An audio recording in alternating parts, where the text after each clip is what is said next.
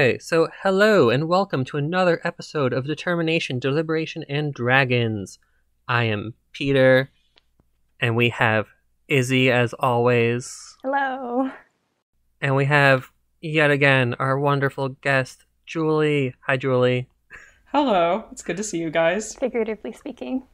So, Figuratively speaking, yes. It is good I to mean, hear we're literally seeing Well, each no, other. I mean, Well, our guys viewer. as in the listeners. Oh, never mind. Sorry. Oh, I was saying it's good to see you guys to you two, whom I can see on the video call. But I will also say it is good to be heard by you listeners.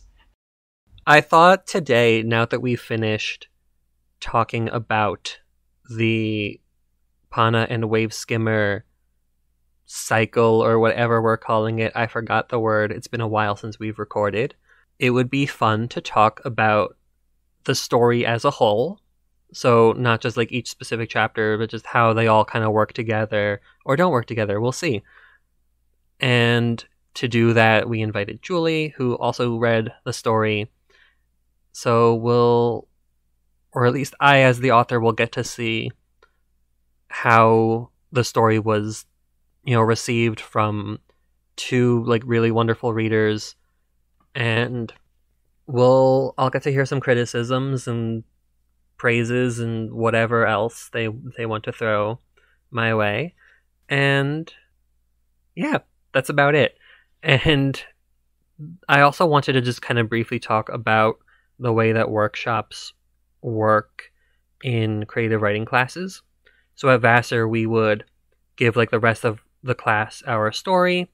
Everyone would read it, and then they would go around the room, and each person would say, you know, something that they thought worked really well and something that they thought could be improved upon. And the goal was to kind of really get an understanding of how the story was received, what impression it made, what people were thinking, and it was less of a space for the author to talk. Because in a lot of ways, the author's perspective, like what they intended, doesn't necessarily matter if their work was interpreted a certain way. Um, at least that's you know that's one perspective that people in the English world can have, and that's one that I have. But for this workshop, Julie and Izzy will talk and they'll do some criticism, some praises, and I will, because we only have a workshop group of three people, like I will jump into. But with that being said, I'm gonna open it up. Who wants to go first? Oh, I can Izzy? go. I have Okay. talked plenty of times about the Pana cycle. I believe that's what we were calling it. I think so. I think that's the name you gave it. Yeah. So Izzy, one, I guess, like one thing that you think worked well, and one thing that you think could be improved upon. hmm I'd say one thing that I really enjoyed is it might be a bit strong to say magic system, but the magical item that is in the book, the magical stone, um, it's really intriguing and leaves me with a lot of questions, but is one of the most engaging parts of the story for me. Just reading on to find out what is the stone going to do next. Nobody knows how it works, so it could do kind of anything. And then you find out more as the story goes on, and you're still left with a lot of questions, or I was left with a lot of questions because nothing is ever fully explained, but not in a way that feels unsatisfying, in a way that still really, you know, if there was ever a Pana Cycle 2, I would be very interested to see what happens to that rock, my favorite character. but I think it's um sometimes can be a little heavy-handed to use a magic item and be like magic sword, Excalibur, go. And then there's no really any mystery to it. It's just, you know, straightforward and it's a tool. But there Rock is more not fully a character, of course, but it's more of a um thematic tool as well as um, literal tool. It carries a lot more weight. Those rocks are heavy, yes. I mean, I'm kind of thinking of it in the terms of Lord of the Rings with the ri- giant ring, not the giant ring, but the, the ring of power and how its powers are never fully explained, but it, that also gives it the ability to carry a lot more symbolic meaning as well. That's a good comparison. Oh, and um, I suppose the thing that could be, um, you know, workshopped a little more. I mean, your story is just growing as we as it goes, and there's so many things that came out of nowhere that ended up being really cool. But I think one thing I would say is sometimes the dialogue could be smoothened a little bit in that some characters have really clear voices and I understand, you know, I have a feel for who this character is just by the way they talk. Uh, for instance, MC, I know I have an idea very clear in my head of who she is. Other characters, um, they don't read as smoothly in their dialogue, but I think that's just something that comes with practice and, you know, trying out different speaker to speaky or combinations. Sometimes different characters interact better, or sometimes they don't want to talk to each other. Yeah, that's really fair. Thank you for your praise and criticisms. I will definitely we'll talk more about that for sure. Julie, do you want to go? You ready? Yep. I'm ready. I have all my little notes written out in front of me, so I'm raring to go. For me, there were a lot of moments that I enjoyed um, while I was reading this story. I think one of the moments that surprised me the most in a really great way was the vision that happens when they're on the lake. Um, just the initial setting of how the vision falls is very mysterious. People are falling asleep, and I, as the reader, couldn't tell whether that was a good thing or a bad thing or a neutral thing. And it kept me in suspense in a good way. I was curious what was going to happen to these people who are stranded on this gigantic lake.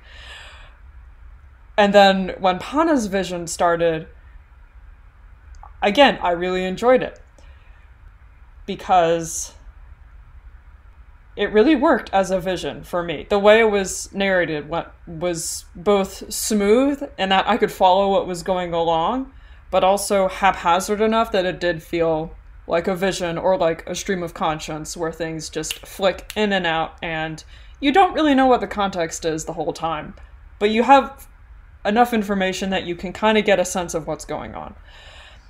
I also really loved that vision because it sets a lot of background for the world that you're developing, Peter. Um, in, in terms of the introduction of Helen. Who is this Helen? She's about as mysterious as the rock that Izzy was talking about. We don't know her full powers. And I'm really excited to see her story start to unfold, hopefully in future cycles of Pana and Wave Skimmer yeah, so I really liked the vision. I thought that was well done, and that was a, good mixture of mystery and suspense. But it also, by the end of it, most of the characters were okay, and I went, "Oh, phew, thank goodness." Um, the the something that I liked but didn't like and wanted to see done better were the characters, which I think Izzy kind of touched on. Uh, your characters, like when you introduce them, they have great intros. When we first meet Kai, she talks about her father and we're like, okay, we can connect with Kai, trying to catch Pana in order to avenge her father's death. Um, in terms of like, she is very compelling uh, as a very awkward and yet very kind-hearted individual. Uh, Bob is incredibly friendly, and and Tally, for I, I just I imagine her as a badass, like a, woman who can do anything. Um, so when you introduced these characters, I was really engaged and wanted to learn more about them. And I think something that I noticed as I was reading along is that they don't really develop. We we meet these engaging personalities and they kind of stay at, at that level. Uh, and I'd like to know more. Uh, what are their backstories? What are their hopes and fears? Are there moments where they, as characters, struggle and fail? are there moments when they have great successes? I I just would really like to see that more fleshed out. Uh, already Pana and Wave Skimmer, I they are very well fleshed out, and I would love to see that uh, done for some of the reoccurring minor characters. I'd especially like to see that for Vare because, once again, really interesting character. I have no idea what her relationship is with Pana. Like, she seems like she's a friend and then an enemy, and she's evil, but then she's helping people during this gigantic water storm. And then she's trying to kill people and release, you know, dragons with diseases that will, you know, sicken the whole world. That sounds like a bad idea. And I, I never really understood why Vare was doing what she did, um, both in the village and after the village. And I, I definitely think that I and other readers readers would benefit knowing more about where Vare is coming from. Uh, that was a lot of talking, but yeah, I have a lot to a lot to say about your story, which is a good thing. You have many provoking things. Yeah, no, thank you. I I love your comments. I think the visions chapter, like I I wrote it and I was like super happy with it. Like there are really rare moments where I write something and I'm like, oh my word, that was amazing. And visions, I wrote it, I was like, this is great. Um, that that almost never happens.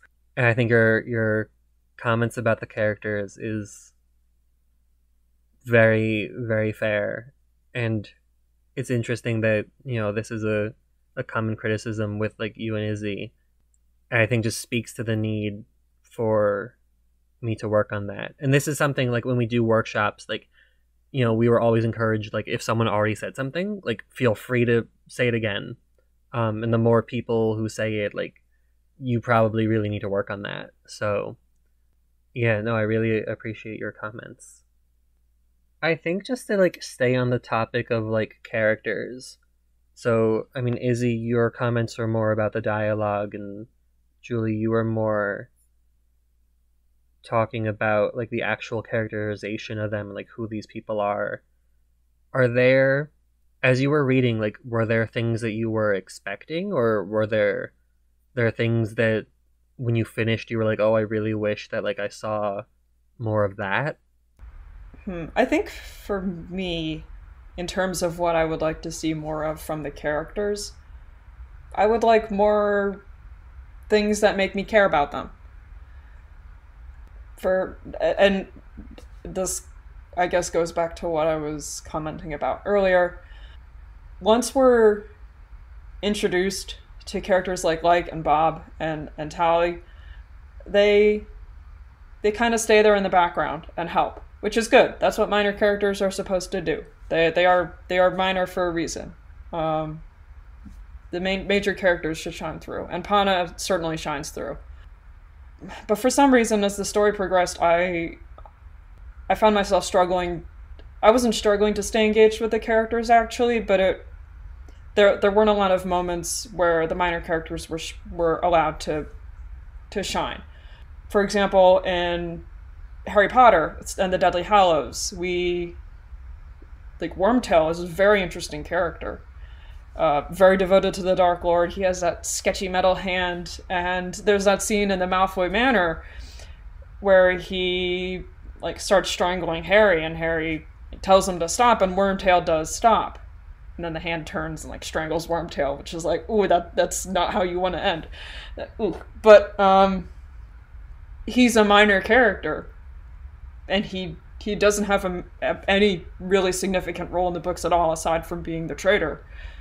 But J.K. Rowling like did a really great job of giving him a backstory and helping us be able to hear his very unique voice, his ratty voice, and to give us moments where you know Wormtail isn't completely evil. There there are glimmers where he seems kind of decent, even though he is predominantly an evil character. And I think that's what I was also looking for in later chapters. Um, after you've introduced these really exciting characters that I wanted to know more about, but wasn't really able to, yeah, to, to see any complexities in them.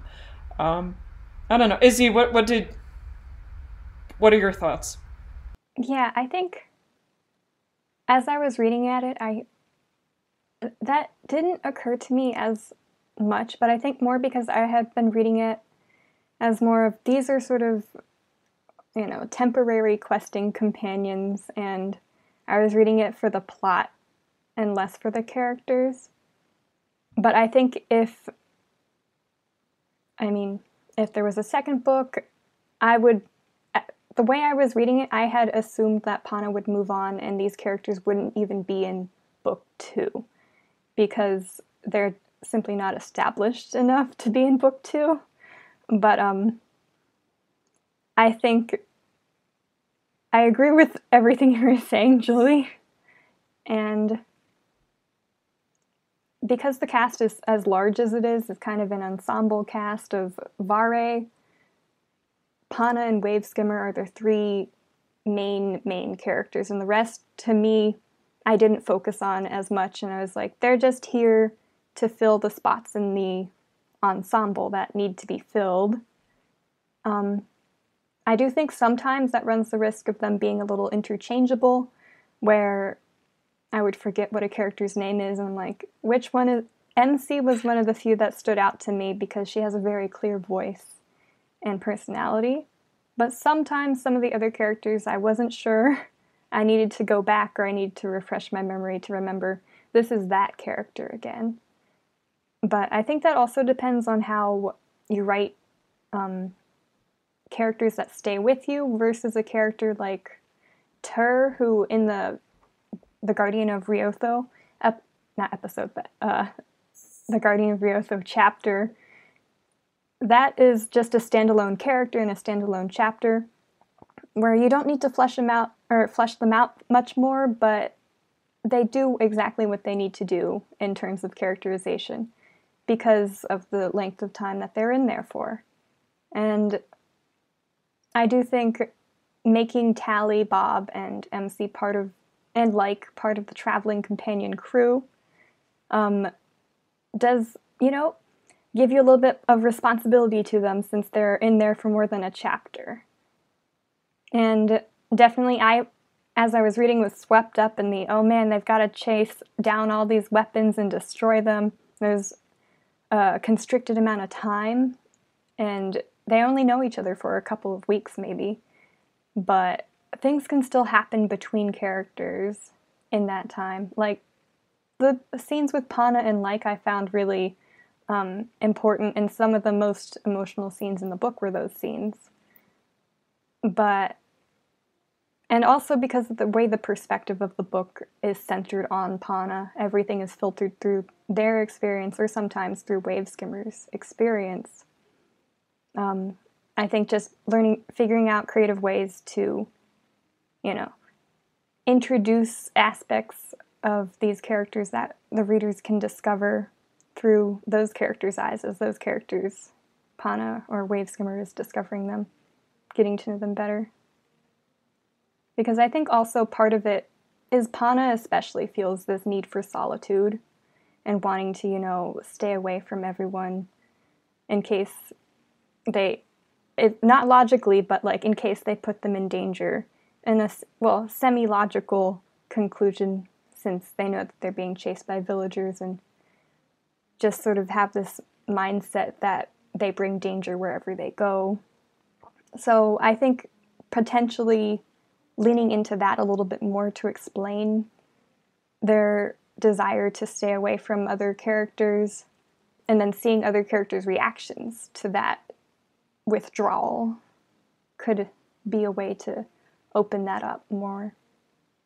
Or finding ways to have Pana connect with the characters in different ways. I just love your comment about you expecting them to not show up in book two. Oh. because um I'm I'm trying to like write I started writing parts of book two and like I have an outline and yeah I do take them out. I yeah, I think um as is clear from from your comments and this is something that I'm aware of too, like character writing isn't my strength. Um and I love I never thought of them as having really good intros, but now that you're saying that like I can kind of see it. But in general, I had like no idea really what I was doing with them. I I mean, I had some ideas, but I struggled with making them continuously relevant to what was happening. And the the focus is really just on Pana and like Pana's past and Pana's future. And the past like of the world. Um and the plot is definitely what I was more interested in writing just as a geographer and again like I love the visions chapter because we get to see like the past of the world.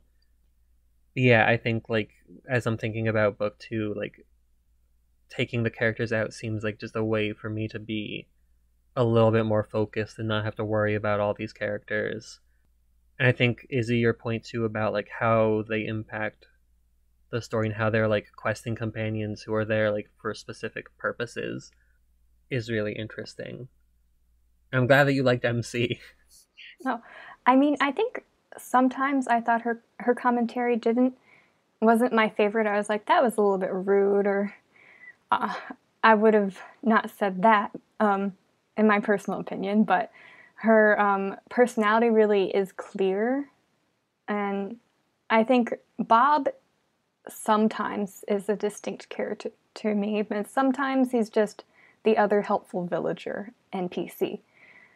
And sometimes they feel a little, you know, NPC, um, um, not necessarily like stock characters, but edging into that realm because they don't have, not like, you know, they should embody a stereotype, but have defining characteristics like how MC has that helps you remember who they are, even though they have little or less page time and fewer scenes. It's interesting to hear, Izzy, that um, MC is the character that, that stood out for you, because uh, for me it was like. Oh, I, I, mean, like as well. Um, but I think like even could be fleshed out more. I personally wanted to see more of her as the boat captain, being the boat captain she has a couple of scenes being the boat captain. I would have enjoyed more. I, I want to hear her talk like a pirate more because that's just hysterical. Did you feel that she was like inconsistent as you went through the the stories that she was in? That uh, might be a leading question. Honestly, so in case viewers have not guessed, uh, I was one of the narrators uh, that Peter excellently enlisted um, and I did a lot of the NPC voices in the chapter 5 recording, including Like. And now I, based Like's voice after after the voice of an NPC, a major NPC that I play in one of my Dungeons and Dragons campaigns, which I DM. So now, whenever I think of like and uh, and read her words on the page, I think of Alia, who who's my D and D character, and I I impose all of the Alia things that I know and love about her onto Like. So, in my mind, the the characters are already kind of confused. Um. So, it it it it's not a question of did was like inconsistent for me. It she wasn't. Uh, it it was just I now whenever I think of her, I think of Alia, and yeah. I love your like voice. it was so good. Izzy, you haven't heard it yet, I don't think. No, I don't think I've listened to that chapter yet. Um, that it comes out. Julie. The episode comes out uh, this Friday. Oh wow! But if you wanted We're finally on story five. But if you wanted, I could of course give you a pre pre you know a preview of what like sounds like, and this is pretty much my Alia voice because I've spoken like this for two years because that's how long my campaign has been. And so yeah, that's honestly perfect. it was so good. Thank you. Um, yeah, I think I raised my leading question just because like again um now that you've you mentioned the whole idea of like intros Like's intro does stand out to me as being just like absurd and amazing, and I I really had so much fun writing that. And then like I struggled to figure out how she moves through the story, and she became less um, likable. Uh...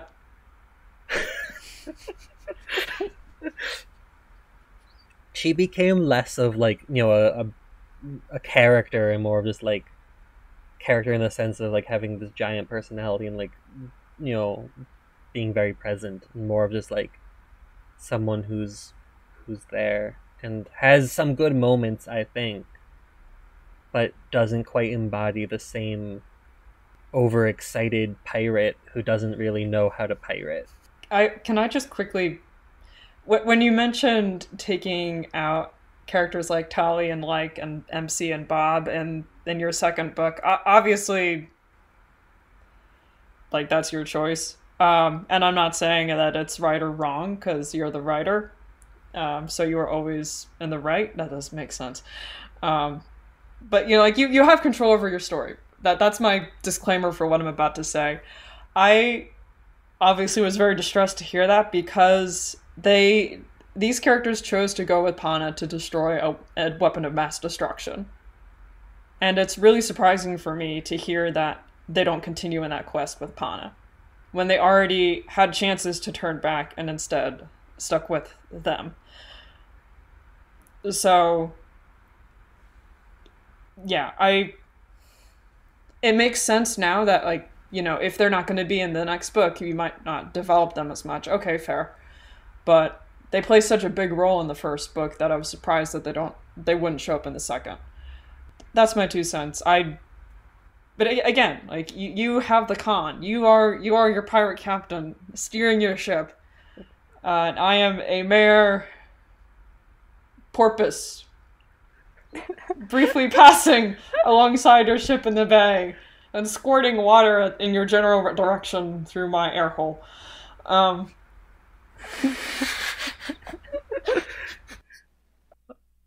I mean, I was gonna say, you know, as as a fan of Samwise Gamgee, it makes sense that that would be your perspective. yeah. So Wait, who is not a fan of Sam here? Ah, no, as Julie is a fan, Okay. like a huge Sam fan. Okay, I thought you were saying that as in she's a fan, but you're less of a fan. I'm obviously less of a fan. I don't like Lord of the Rings. Oh, oh but oh okay. Well, I mean, That's fair. That's okay. I have mixed feelings about it, but Sam is the best.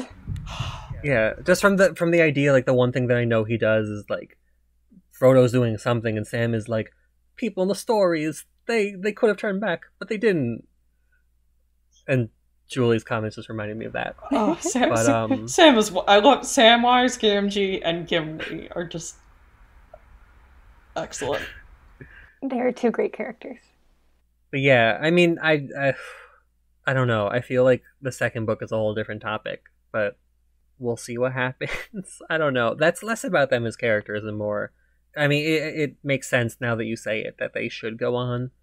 I just don't know how to write characters well, and I need to work on that. I'll definitely be going back and like, you know, developing them a little bit more and adding stuff for them to do. Not adding stuff for them to do, but adding some nuance where I can, if I can. I would say you don't necessarily need to keep the whole gang, or you could have them diverge onto different paths to split up and conquer. You know, go after the different weapons and Hmm. agree in the beginning. We're all gonna, you know, see each other again in the future. But here's our master plan is to travel in different directions with the same purpose. Because I remember thinking, wait, we're only destroying one weapon, and how that was the very climax of the book was to get to a single weapon. And I was like, wait, I thought we were going to do a mad dash to get to a bunch of them, because it's very clear there, there are several that are still existing in this world. But mm-hmm, you can't do all of them at once.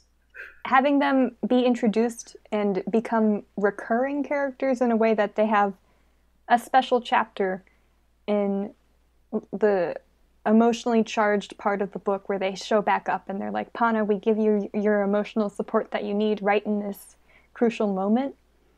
But they don't necessarily have to be there for all of book two. But I do think it would be a little sad to have them disappear with no explanation. I mean, that's such an obvious answer, and it makes so much sense.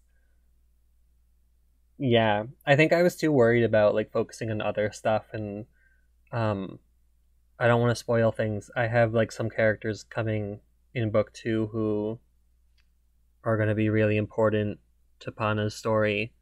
Obviously, like I really want to focus on the Panavare dynamic. Um, I have a wonderful gnome who's going to show up. Does this gnome's ga- name begin with an S?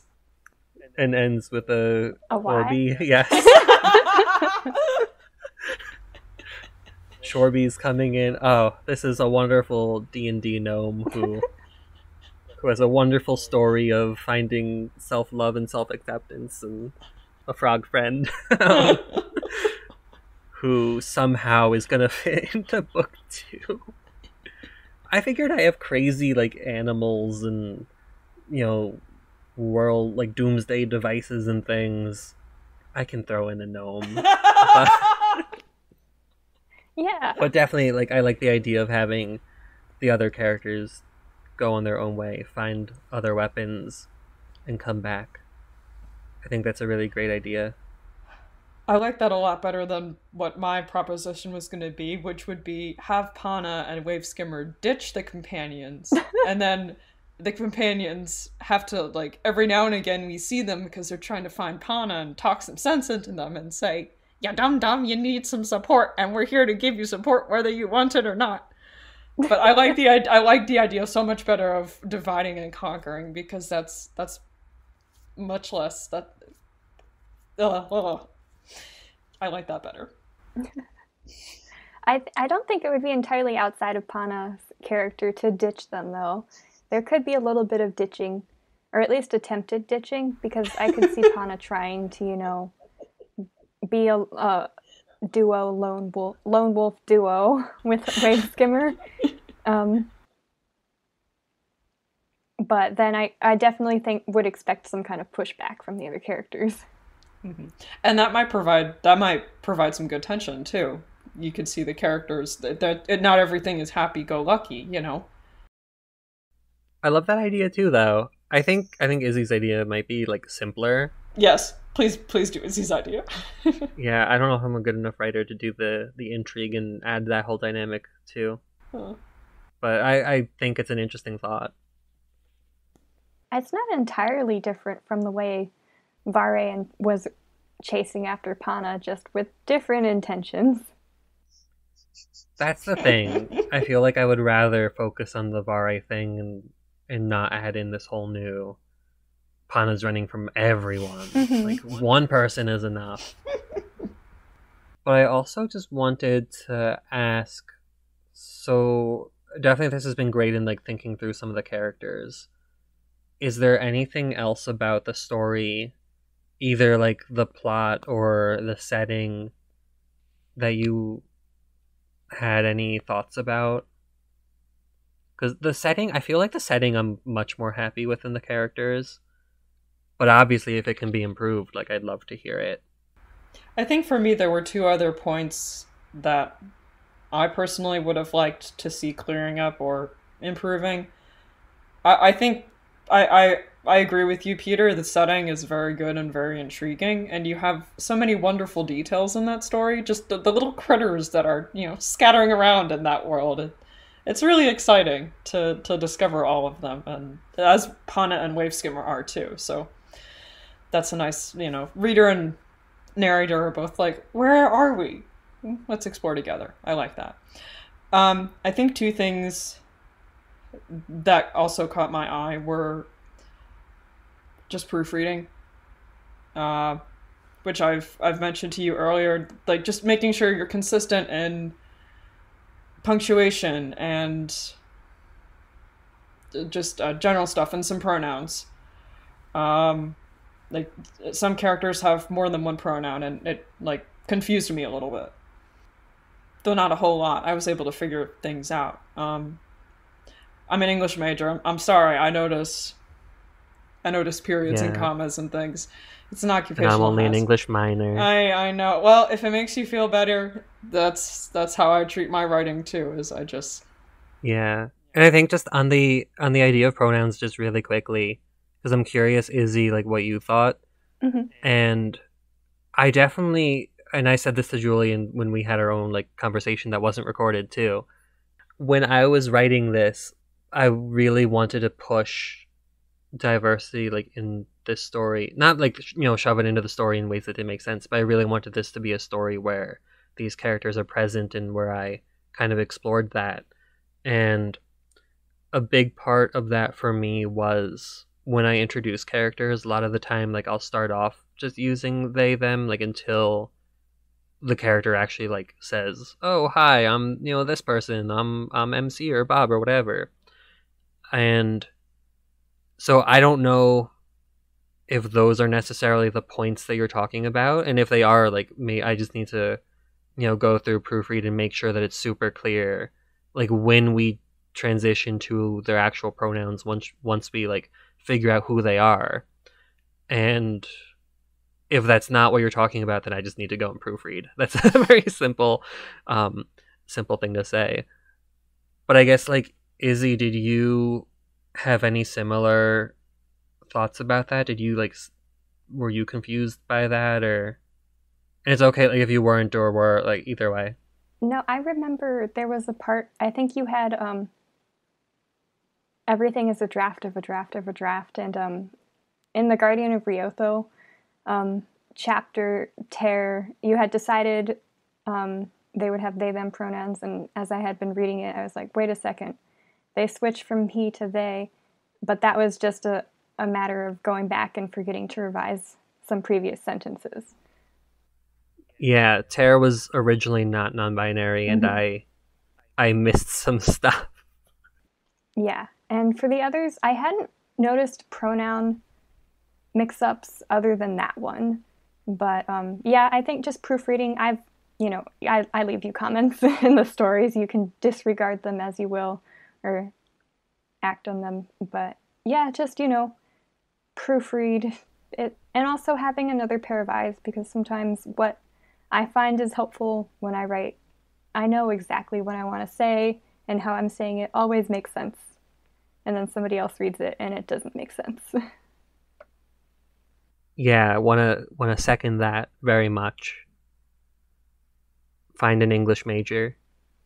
uh, you have my number. Although I, yeah, I I agree with you, Izzy. I having a second pair of eyes on what I write is definitely very helpful. I think also sometimes the voice, um, just paying attention not just to grammatical things, but also to how you want the reader to, you know, understand the world and how you're speaking about it can be very important and a lot of the voice comes through and i hear i just hear you speaking and telling me the story because it sounds so familiar to me the way that you write. Um, but i think also you know being wary of you know going complete stream of consciousness or completely into a way of speaking that is entirely your own but doesn't necessarily convey what the story needs or um, finding a voice that is specific to the story and making sure it is consistent throughout.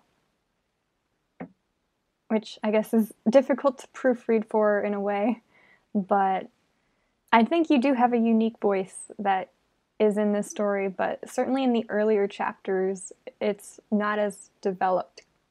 And in the later chapters, you can really hear it more. So I'd say just, you know, go back through the earlier chapters, especially for consistency. Can I raise the other thing that I wanted to bring up, if that's okay with you too? Mm-hmm. Okay. Um, so the the proofreading was was one, um, but I think the other thing that really threw me, and this kind of builds on what we were talking about pronouns, is the character Naka. Um, and again, like Peter, we've had this conversation before. Um, I liked Naka, but I I was confused because throughout the story, Naka uses he him pronouns.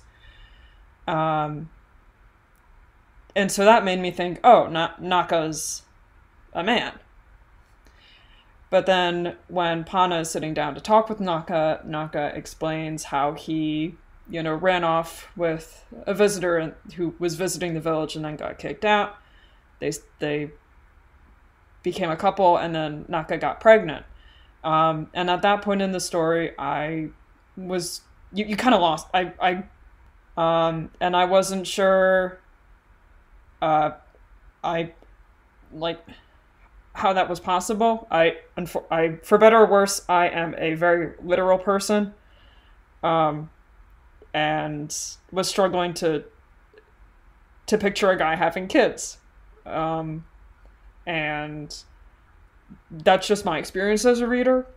Yeah, um, and hearing I, you're welcome to correct my rendition of what you said to me in that conversation, Peter.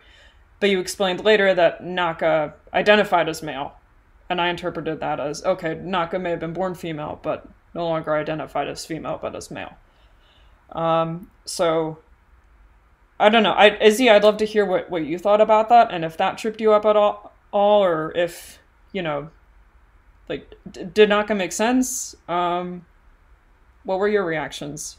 Um, I would say I did. Um, it took me a second to connect the dots and think, oh yeah, Naka um, is trans, and that's how that how, that's how that works. But I think it's also a difficult like practice to figure out how to manage what readers are expecting and also the entirely different society that exists in this story that isn't beholden to what our societal standards have now. And also the fact that, I mean, even today, men can have children and it's just not where the mind immediately jumps to. Because, I mean, of course, the visibility of trans people is becoming much more mainstream, and that's really great. But I think being aware of how readers are expecting to read a story and to read and understand a character, there are certain ways I think that that could trip up a reader. And I am familiar, you know, I have people who, uh, I have friends who are trans, so like I, that sounds so weird to say, but I'm not like I wasn't thrown off guard completely in the sense that this was a completely foreign concept to me. But I do think for some readers it is definitely not something they're familiar with and this story is t- geared to young adult, I think. Young adults. So some of them know and some of them, you know, might still be learning as they're, you know, being introduced to this book.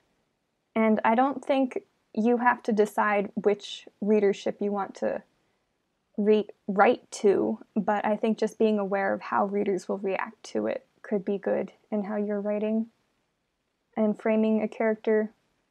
Not that you have to go in and do this whole exposition of like, this is how this works and all of that, but I think maybe having some foregrounding within the society that separate from Naka's character itself of like, you know, there are some trans people here, and you know, it's a common practice for if somebody's, you know, born female, then they just, you know, tell their parents, hey, actually, I'm a boy, and, you know, I'm your son. And they're like, okay, cool. And just, I guess, setting that expectation for the society in general um, would make it more comprehensible within the terms of this story, I think, which partly happens just naturally through Pana as a character existing, although slightly different since they're non binary. So I guess also going along with the character thing, the setting of the village as a society in itself, sometimes I had questions about Vare, for instance, her motivations were unclear to me because I didn't know what kind of social framework she came from and what, you know, how her, you know, nurturing as she grew up shaped her versus Pana. And there are assumptions I can make based on my own social upbringing, but I don't want to make those assumptions and apply them, you know, slapdash to this whole new human cooperative community that you have created that follows whatever rules you want to make up. I mean, I really, really appreciate these comments and these thoughts. And again, sorry, Julie, you have to relive this conversation. um, but I'm gonna I'm gonna try to explain it in kind of the same way that I did before. And again, I mean, there may very well be aspects of this that like my writing could just be better. I'm sure that is part of it. But another thing that was really important to me as I was writing this. So again, like stories centered around LGBTQ people, I feel like are not that common.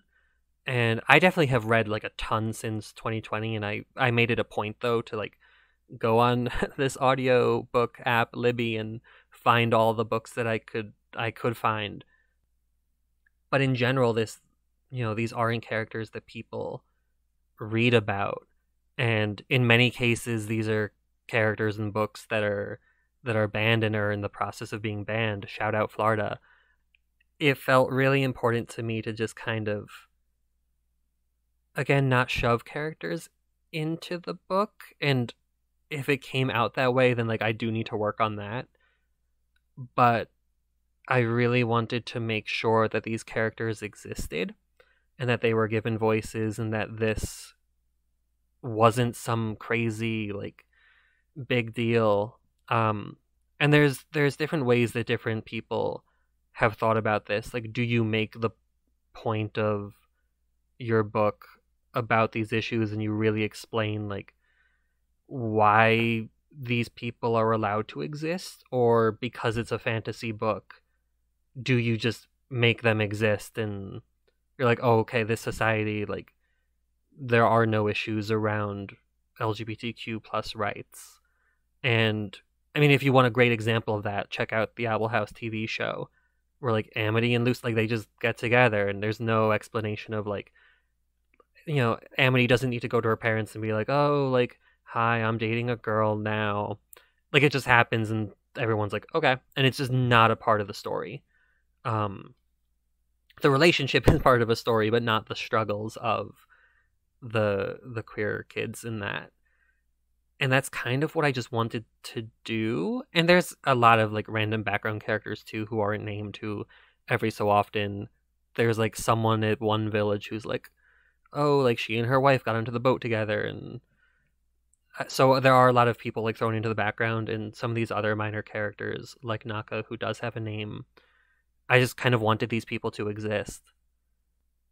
So all that's to say is that I'm glad that like you at least read it and even if that confusion's there I think hopefully that speaks I mean uh, it might speak to my writing but I think it also potentially speaks to the fact that these characters just aren't present in stories and we're not familiar with these types of characters. And I'm hoping that this, you know, maybe like if this book ever gets published, I'm hoping that there are a lot of people who read it and are confused and then go on to learn more about these issues. And maybe, you know, future books will start to include more characters like this, if that makes sense. So, yeah, I don't know how well I worded all of that. Um, but I think that's kind of where where I'm at. I want these characters to exist. I want people to be aware of them. Um and I want conversations to to happen about those. And I think it's interesting too like this is a national conversation to some degree and there was literally just a congressional hearing where like um there was some I don't know who the person was, but they're talking to the Senate about like the recent Supreme Court rulings and they had one person like talk to Senator um Josh Hawley and was like he basically asked like oh like but guys can't get pregnant and the person was like actually they can that's why the language around certain things needs to be this way and like we need to think about how our language includes or excludes certain people. Um, so it's just interesting, like seeing that happen literally in our in the U.S. Senate right now. So all that's to say that I really appreciate your thoughts and your comments, your confusion. It's all all appreciated. Definitely see that um, you know, sort of the work is being done by the the text that you have written and I do appreciate, you know, having those little um, bits sprinkled in with some of the side characters, or just, you know, making your main character be non binary is in itself not common at all. And I really appreciate that everybody just uses their pronouns correctly and there's never a conversation of like, how do I use they them as pr- as singular pronouns, which is so frustrating because people know at this point, or if they don't know, they can learn. So I do appreciate that. I think um, for Naka's character specifically, that is just one of those things where some people have, you know, familiarity with trans people or are trans themselves, and, you know, it just clicks. And other people, readers will, you know, not, some readers just won't like it or just will either not understand or refuse to do the work to understand. But I don't think it's on you to handhold all readers in that way.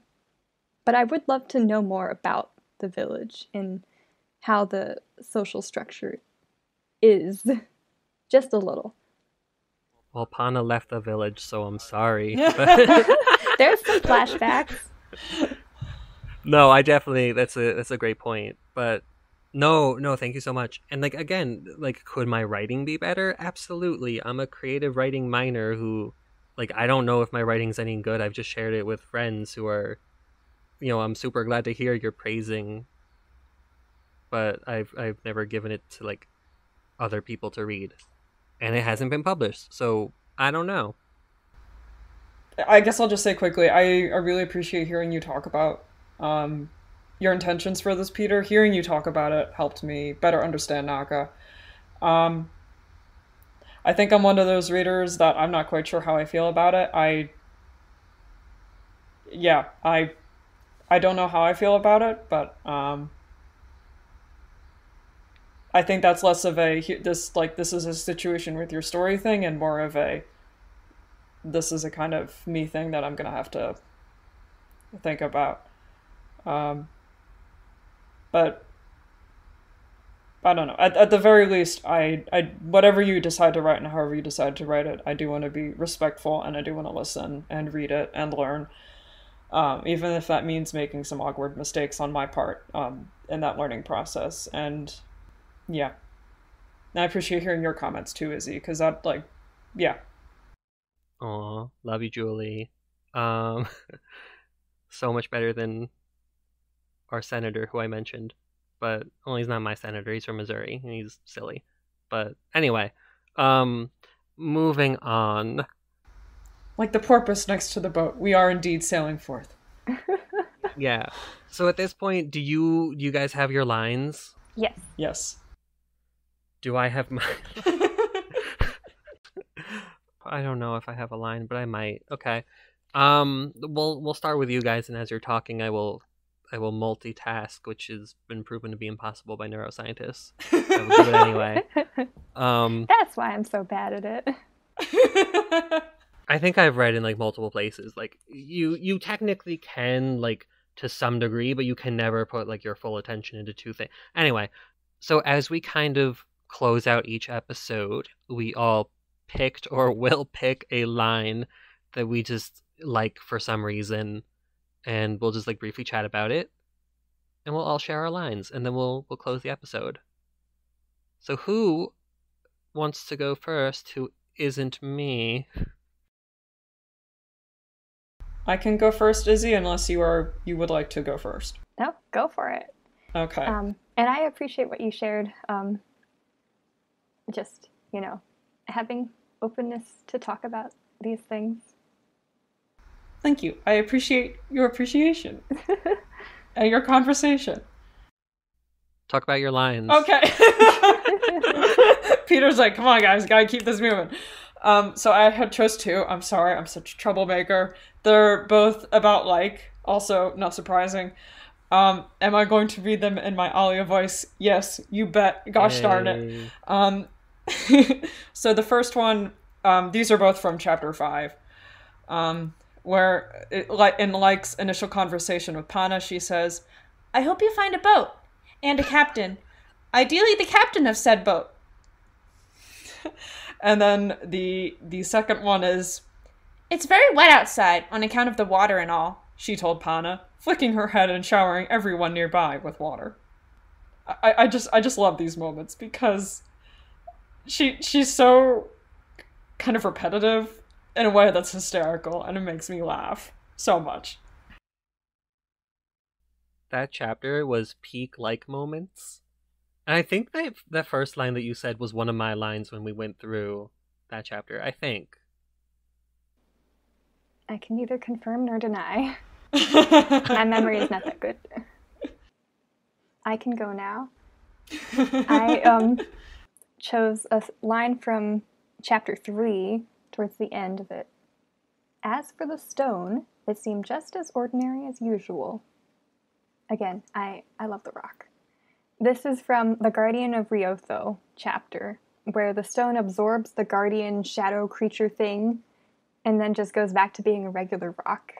And I just love what it's a wonderful sort of introduction to the stone, not just being inert granite or whatever the heck it is made of, and it actually has some mysterious powers that finally make an appearance without even Pana actively trying to use it.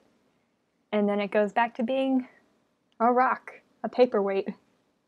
I, am a fan of The Rock. I, I love how much you're a fan of The Rock. It makes me love The Rock even more. I was worried about The Rock, but I like that I'm so hardened by the fact that you like The Rock. I just like mysterious magical items. I don't know.